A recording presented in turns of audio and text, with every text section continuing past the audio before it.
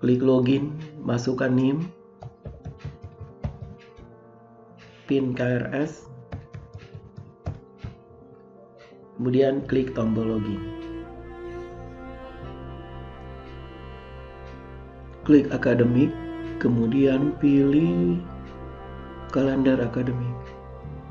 Satu semester, kamu dapat memperbesarnya